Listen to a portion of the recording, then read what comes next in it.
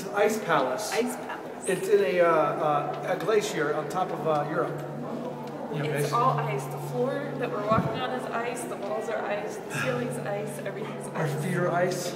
It's cold. Tony's wearing shorts and a sh- uh, t-shirt. My, my chin whiskers are turning gray because they're ice.